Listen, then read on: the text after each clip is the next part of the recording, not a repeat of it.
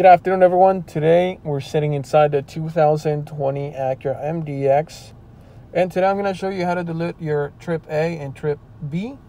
So first thing you want to do is find this little button that is on the right right side of the steering wheel. So it's a straight button, and then you're going to press it once, and it's going to take you to trip A.